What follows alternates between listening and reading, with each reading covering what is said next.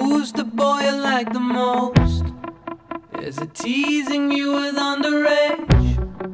Could he be waving from a tropical sunset?